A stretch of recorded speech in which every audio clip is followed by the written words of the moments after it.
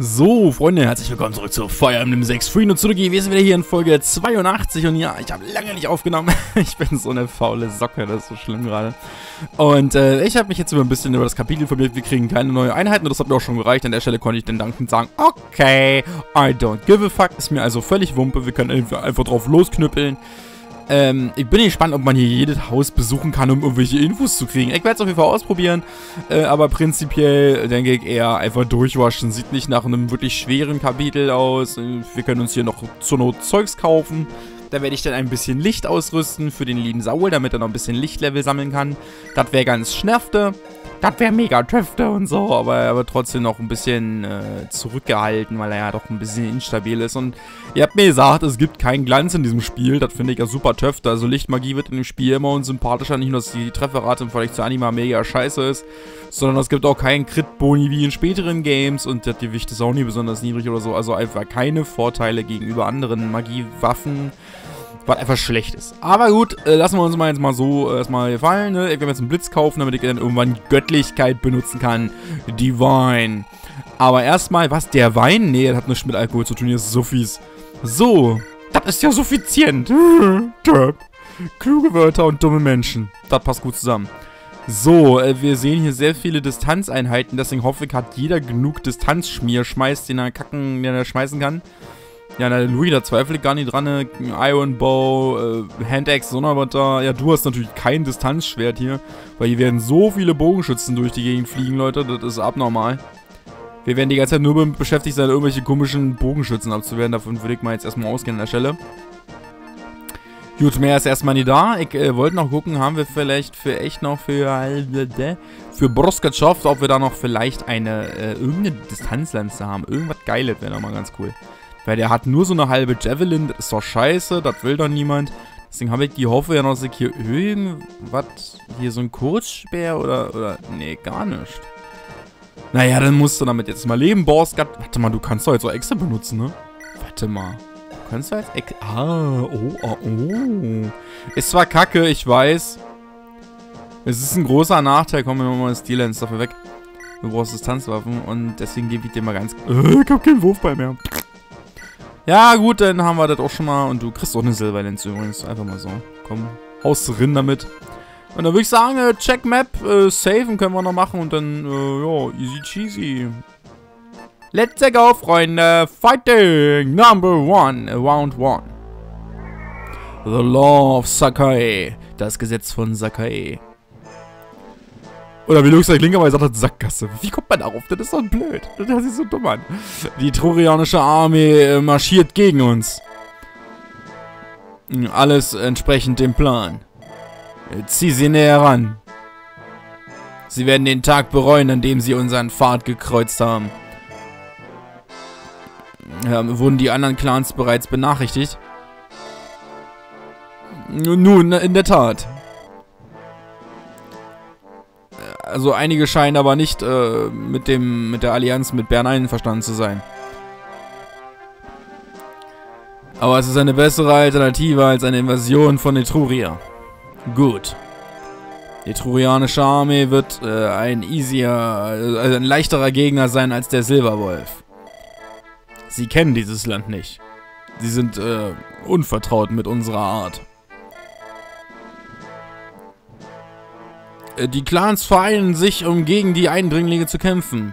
Ja, dies ist das Gesetz von Sakai. Niemand hat uns beigestanden im Kampf gegen Silber, äh, gegen den Silver Wolf, weil es ein, äh, ein, ja, ein Clanstreit war, ein Streit unter Clans war. Aber dies ist ein Unterschied.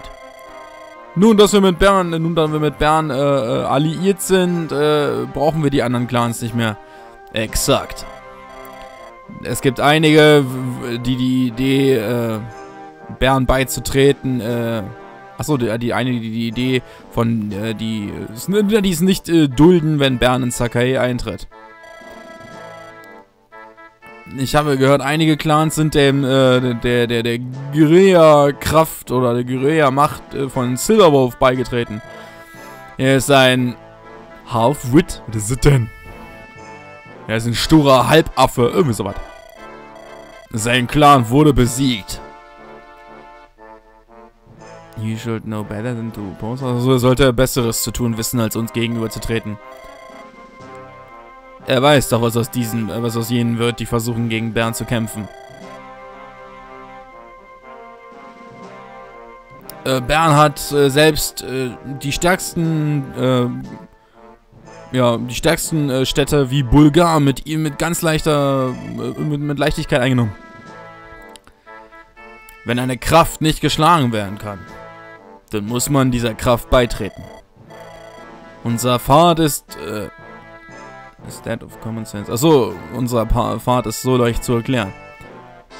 Das Gesetz von Sakae ist unbrechbar. Oder unumstößlich, in dem Fall. Ja, Prinzessin! Wir approachen, also wir, wir, wir treten an Berns Armee heran. Ja, ich weiß. So, umso näher wir kommen, umso mehr werden wir mit Soldaten von Bern aufeinandertreffen. Es wird nicht lange dauern, bis wir in, voller, in einem vollen Kampf mit Bern feststecken. Ich möchte euch etwas fragen, bevor das passiert. Natürlich. Ich habe Gerüchte gehört über King Zephiel. Ich habe gehört, dass er seinen Vater getötet hat, den vorherigen König. Dum, dum, dum! Ich konnte es kaum, ich konnte es selbst kaum glauben. Ihr glaubt an ihn mit, mit all dieser Stärke, dass ihr aus eurem eigenen Land geflohen seid. Wenn, nur wenn King Zephyr wirklich so, so fies und scheiße ist, wie die Gerüchte es sagen, dann bin ich sicher, dann würdet ihr all das nicht tun, was ihr getan habt. Prinzessin, ich habe das Fire Emblem akzeptiert. Äh, oh, achso. Ich habe es akzeptiert, das Fire Emblem nicht im Kampf einzusetzen. Und dafür einen Weg zu finden, diesen Krieg friedvoll zu beenden. Roy. Ich denke, dass ich das Recht dazu habe, über die Gerüchte, über, über, über, ob, naja, zu wissen, ob diese Gerüchte wahr sind. Ich, ich entschuldige mich. Bitte gib mir einige Zeit. Ja, ich denke mal, der Reaktion zur Folge hat sie auf jeden Fall von den Gerüchten was gehört. Wäre ja auch komisch, wenn nicht. Ich meine, ist sie die, die Schwester des Königs, also, äh, ja, würde mich wundern, wenn da nicht mal irgendwo Informationen durchgesickert ist. So blond ist sie ja dann doch nicht. Äh, also von daher, ich denke mal schon, dass da irgendwas in der Richtung... Irgendwas wird da schon noch dahinter stecken, aber Leute, wir finden es auf jeden Fall raus. So, ich werde mir jetzt erstmal Licht kaufen. So, und zwar ganz viel. Woran nämlich ein bisschen mehr. Wir können ja nicht immer sagen, ja, das vielleicht ist ja noch eins im Lager. Hanja, mein Gefühl ist immer doof irgendwie. Deswegen gib mir mal so eins. Und ja, komm, hier, geben wir mal Merlinus hier. Und da hier Flux. Oh, da oh, ist Kling, oh, voll gut. Das ist ja mal bäh. Das hat mich verschluckt, Entschuldigung. Könnt ihr das bitte aufhören? Danke. Ist ja lästig. So, und hier könnt ihr auch, denke ich mal, zur Not noch mal ein paar Langspeere kaufen, weil ich das machen werde. So, wie sieht meine Taktik für dieses Match jetzt hier aus? Äh, die Einheiten sind relativ wenig, es gibt wenig Platz, um sich zu verstecken. Hier oben könnte man ein bisschen campen, weil es halt nur eine zwei Felderbrücken gibt und genug Wälder und einen Fluss herum gibt es hier auch. Das ist nicht das Problem. Aber ich denke, bei den wenigen Einheiten werde ich gar nicht die Not haben, mich zu verstecken. Es sind nur einzelne weiterentwickelte normalen Soldaten dabei. Wir haben es beim letzten Mal schon durchscannt. Es sind jetzt nicht wirklich viele bösartige Waffen dabei. Ja klar, logisch gibt es immer einzelne gefährliche, aber ich denke mal schon, dass wir das auch ohne großen Schockmoment relativ gut überstehen können. Die meisten haben hier nur einen Shortbow, es ist also relativ klar eigentlich, dass wir das relativ easy annehmen können. Ich meine, auf Distanz sind sie nicht sehr stark und im Nahkampf wahrscheinlich zu unpräzise. Ich nehme es mal ganz stark an. Geschwindigkeit ist mit äh, Level 5, mit 15, 12, 16, 13, 12, so ein Durchschnitt von 14, würde ich sagen. Gar nicht mal schlecht, aber ich denke mal, die trotzdem, die meisten von uns sollten sie trotzdem doppeln können. Es sollte eigentlich kein Problem werden, groß. Selbst die äh, nicht ganz so schnelleren unter uns hier, die sollten problemlos, ja, definitiv hier problemlos die Chancen haben, hier die wegzudoppeln. Äh, er wird wahrscheinlich am meisten Probleme kriegen, aber hey, thanks a lot wird das schon hinbekommen. So, würde ich sagen, let's go. Wir werden auf jeden Fall jemanden mit, äh, mit, ja, mit Multi, äh, Nah- und Fernkampffähigkeiten nach vorne schicken, damit er möglichst gut alles easy abfangen kann. Ich glaube, dafür würde sich Louis anbieten, weil er ja doch eine relativ vernünftige Defense hat. trotzdem noch genug Speed hat, genug Glück, um nicht gekrittet zu werden. Er hat auch noch ein bisschen magische Resistenz und er hat halt einfach die Option, halt immer Nah- und Fernkampf auszupacken. Das ist natürlich ein großer Vorteil, darf man natürlich nicht verheimlichen. Allerdings ist Stu gerade im Weg, fehlt nicht so cool. So, ich würde sagen, versuch schon mal die ersten Penner hier anzulocken. Mit einem Schwert, ja, ich weiß, es ist natürlich lebensmüde, aber hey, komm, go. So, Louis, du wirst helfen. Ich weiß, jetzt können natürlich hier Ray sich dazustellen. Aber da ich, dass die Defensive ihm jetzt nicht so gegolten ist, denke ich, wäre das nicht der beste Idee. Aber du stellst dich trotzdem mal dazu. F für die Support, der ist ja auch noch da. Und ihr könnt eigentlich euch problemlos in irgendeiner Form überall hin bewegen, wo ihr es denn möchtet, weil ihr zwei seid zusammen eine unglaubliche Ausweichmaschine. Ich glaube nicht, dass die beiden jemals irgendwie in irgendeiner Form getroffen werden mit, äh... Hä? Greift das gerade nicht? Oder hast du wirklich so wenig Ausweichen? Nee, der hat wirklich so wenig Ausweichen. Das ist ja nicht gut.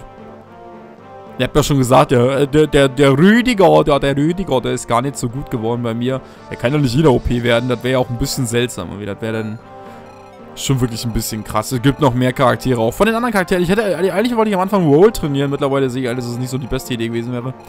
Weil halt einfach nur Fernkampf immer fixiert ist und das halt irgendwie später oder früher oder später zu schlechten Optionen führt. Aber prinzipiell habe ich das anfangs versucht. Aber äh, die Level-Ups waren so scheiße, so unterirdisch, dass ich mir so gesagt habe, gut, wenn du nicht willst, na dann halt nicht.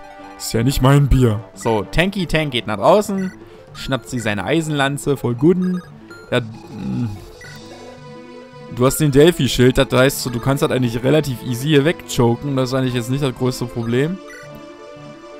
Ist echt nicht so die Welt, ne? Also ist auf jeden Fall schaffbar. Sie kann halt hier easy wegtanken. Die Pfeile sollten hier nicht viel Schaden machen. Milady hat genug Defense, um trotzdem nicht viel Damage zu nehmen, jedenfalls von denen, die nur einen Shortbow haben, weil da ist der Boni jetzt eher zu vernachlässigen.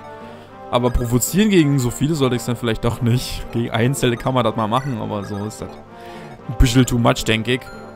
Ja, komm, lauf mal oben durch hier. Geht schneller, als über den See zu latschen, falls du überhaupt um den See latschen kann. Du gehst mal auch mit äh, Hand-Axe ins Spiel, weil es halt einfach eine Nahkampf- und Fernkampfoption ist. Das war eigentlich das Kacke gegen die Schwerter, ne?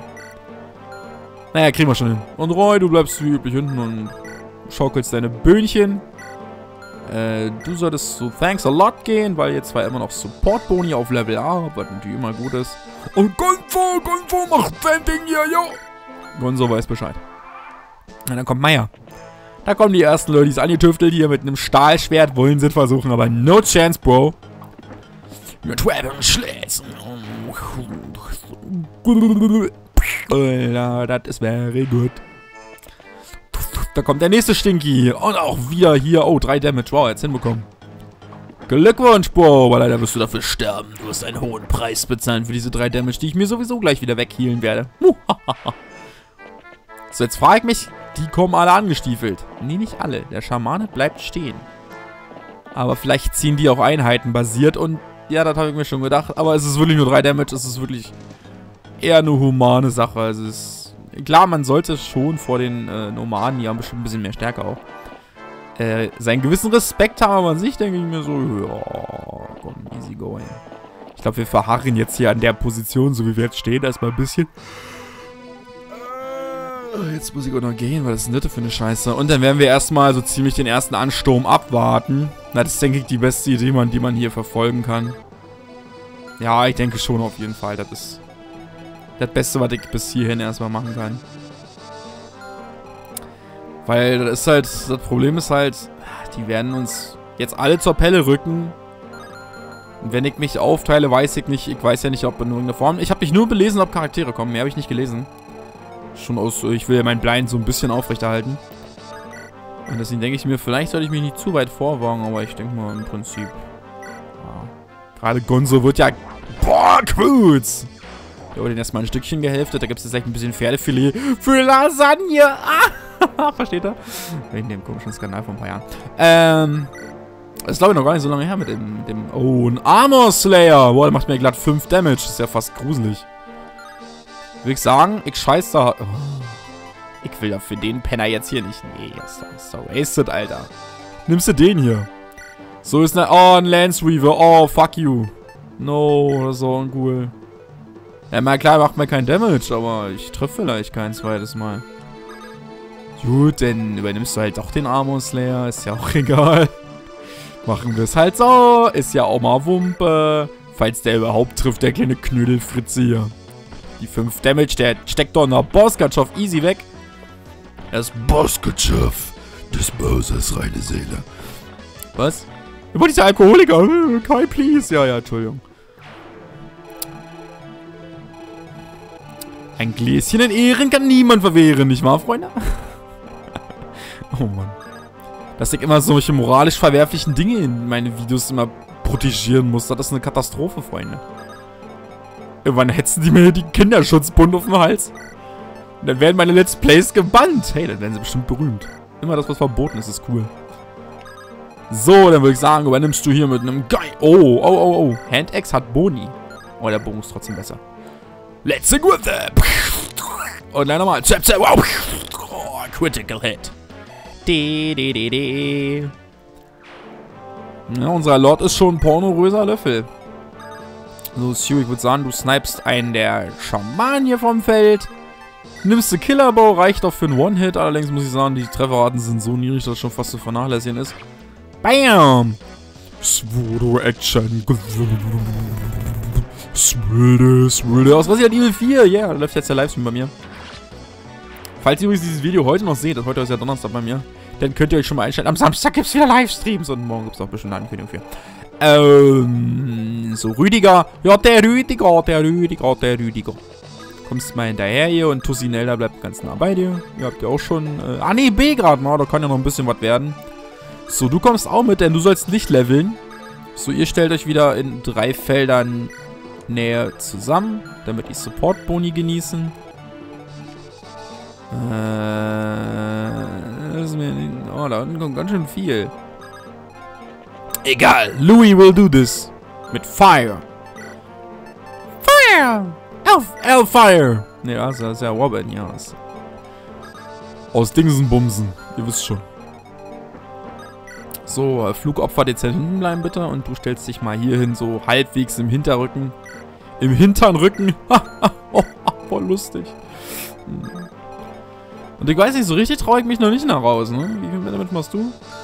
18, war der ist 15. Also viel, viel, viel mehr ist das jetzt auch nicht, ne? Hm. Komm, ein bisschen ist möglich. Hört Schlitz! Wow, Schlitz!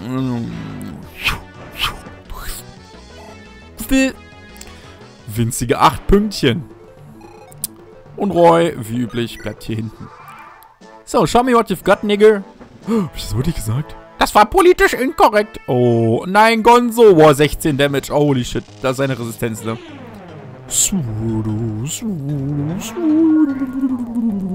Daneben. Tichi. Gonzo lässt ihn nicht treffen. Ja, wissen wir, Gonzo. Du bist, ein, bist ein toller Keks. Oh. Wow, der hat Crit. Ja, das äh, sollte ich vielleicht nicht unterschätzen. Ich meine, gut, das sind jetzt nur, in Anführungszeichen, nur 18 Damage, aber trotzdem. Das würde mich wundern, wenn es nochmal trifft übrigens. Oh, heute Glück. Gibt sogar 20 Erfahrungspoints. Very good. Ja, man darf natürlich nicht unterschätzen, dass so ein Shortbow immer Crit gibt. Ja, ich sehe es gerade hier schon. Ah, oh, da, du Arschloch. Swoodoo Magic. Äh, also Ray, so langsam ist es uncool, wenn du alle killst, weil dann können alle nachrutschen wieder mit 60% einfach alle trifft gerade. Oh, Level Up für Way. Yeah, Trigger hat ein Level Up. Oh, schade. Weder Glück noch Defense, aber hey, was will man erwarten? Das ist Louis. Irgendwie ich die Musik cool, aber irgendwie auch nicht. Ist ganz komisch gerade. So, da kommt so ein komischer äh, äh, Pferdefritze an mit einem Pony, was so ein bisschen blass aussieht. Dem werde ich gleich mal ein bisschen Farbe einprügeln. Ach, da kommt ja noch einer. Na gut, von mir aus. Ich finde, die Pferde sehen irgendwie blass aus. Den ist doch schlecht, hört auf zu reiten. Lauft doch mal zu Fuß, ihr Schweine. Die sind alle, äh, alle faul, ich sage euch. Oh, Alter, hört ihr mal auf mit 40? Okay, was will ich mich beschweren? Ich habe gerade viermal mit 60 irgendwas getroffen. Für meine Verhältnisse ist das gut. So, aber ein bisschen Tani kannst du noch machen hier. Oh Gott, reicht ja gar nicht. Oh, reicht ja auch nicht. Äh, reicht eventuell. Komm, versuchen wir's. Hops, Brams! Und Cruise. Sweet, Level Up für Tani. Warum heißt die eigentlich Shana? Ich hab das, irgendwie hat es mir mal erklärt, warum die den die umbenannt haben. Aber ich weiß nicht mehr warum, ich hab's vergessen. Oh, guck mal, ein Lichtopfer. Wunderprächtig. Guck mal, hier. Klingling, swoot. Na komm, hier, mach dein Frisselzeug da, ist mir egal.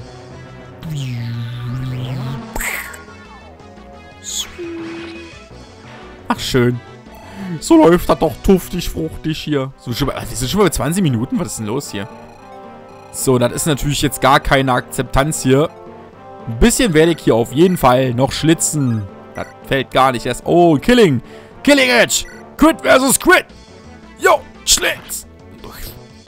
Daneben, Bro. Bullets. Ah, das sieht auch so fresh aus. Ich finde das cool. Ist voll geil, ey. So, und du kriegst ja den Avo-Boost. Kannst aber auch in Nahkampf gehen, dann passiert in dem ja auch nichts. Also, eigentlich mit einem Döner, den da hinten, wäre eine gute Idee, ne? Weil der hält ganz schön viel aus. Also, die halten ein bisschen was aus, sagen wir mal so. Nee, komm. Nahkampf! Nahkampf! Feuer! Schraps! Burn! Er klingt immer wie Donner und wird dann zum Feuerzeug. Das ist quasi ein elektrisches Feuerzeug.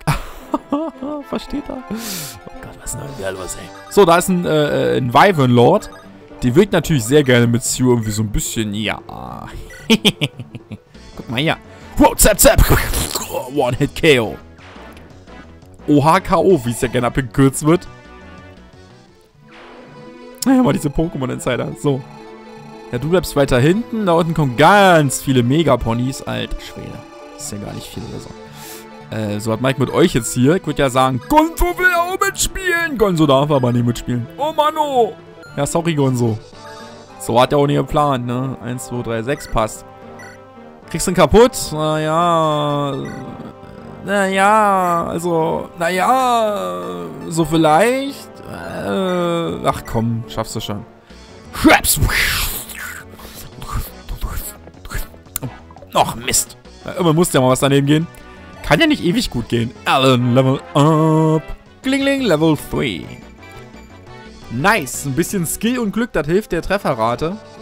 Und ich würde sagen, du schnappst dir den da oben. Mit einer Silver Lance. Oh. Vielleicht reicht ein Iron. Ja, nice. Mann, Lance, ich bin ja überrascht von dir. Weil gegen defensiv starke Einheiten hat er nicht so die besten Quoten, ehrlich gesagt. Also, das überrascht mich ein bisschen. Ach, Rittmeister sind coole Einheiten, muss man schon sagen. So, Borskatschow. Kommt hier hinten noch mehr Gedöns? Ja, ein paar Pferdefritzen ganz, ganz spät. Ruf mal direkt rum und hau mal richtig drauf los. Ja, reicht sogar. Schraps! Zap, zap! Brams! Oh, Alter, er macht da erstmal richtig fett. You spin me right round, bitch. Und verpasst ihm den Headshot des Jahres. Und Bosskatschaft kriegt ein Level up, Level 4. Yay! Mehr Defense. Anyway. Nice. So, und hier kann man ja mal den Bogen zücken. Ist ja nicht so schlimm. Komm, scheiß drauf. Triffst schon. Hups.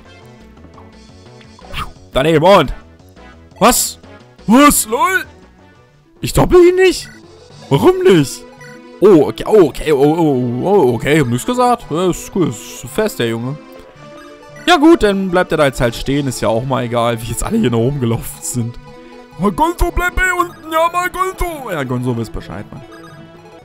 Gonzo, wir wissen, dass du hier unten bleibst. Bleib mal hier und äh, Handang. Ja, versuch's mal. Komm. Wir versuchen es jetzt. Wir bilden jetzt hier das äh, äh, Dreier Nahkampf, äh, Fernkampf-Trio. Wer ist denn bei euch von Linienlevel? Du, okay, dann geh du mal nach vorne in hier das Ding und du stellst dich hier hin und healst ihn jetzt. Stablevel, zack, Songs, Wut. So, und bevor jetzt die nächste Folge losgeht, also die nächste Runde, mache ich jetzt die Überleitung zur nächsten Folge, Leute. Ich danke vielmals fürs Zuschauen an der Stelle. Es sieht nach einem relativ easy Kapitel aus. Die Gegner sind schon auf knapp 2, 4, 6, 10, 12, 14 dezimiert. 15 mit dem hier oben, aber der ist eh schon halb Fischfutter. Also da denke ich, wird ein easy cheesy Kapitel, Freunde. Aber freue dich auf die nächste Folge trotzdem, denn da erfahren wir vielleicht, ob unsere Prinzessin vielleicht mehr über die Gerüchte weiß. Vielleicht ist es ja alles auch nur Humbug, man weiß es ja nicht, aber vielleicht.